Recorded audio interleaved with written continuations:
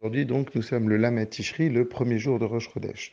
On est en train d'expliquer toute l'idée de Ashgar Hapratit, que tout est providence divine. En fait, ça veut dire qu'Akadosh nous envoie constamment des messages. Ces messages d'Hachem, ils sont soit de manière directe, euh, Piv d'Akadosh bien soit de manière indirecte, cachée dans, dans notre vie au quotidien, dans, dans tout ce qui peut nous arriver.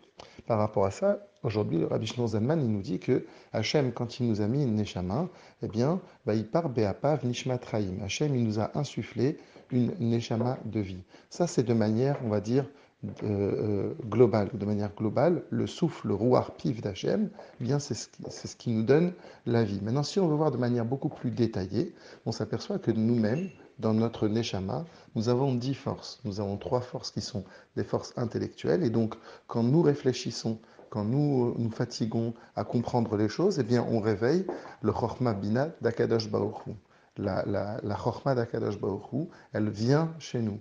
Quand nous, nous nous servons des autres midotes, les six midotes qui sont en rapport avec les émotions, en règle générale, c'est l'amour et la crainte. Donc, quand nous avons de l'amour, de la crainte et que nous réveillons en nous des émotions, eh bien, ça réveille le, la, la Rahmanout, ça réveille l'amour d'Hachem, ça réveille la, la, la mida de Goura d'Akadosh Baruch En d'autres termes, tout est fait pour qu'il y ait toujours un, rapport, un aller et venu. Nous, on fait quelque chose, et Akadosh Baruch par rapport à ce que nous faisons, eh bien, il nous donne.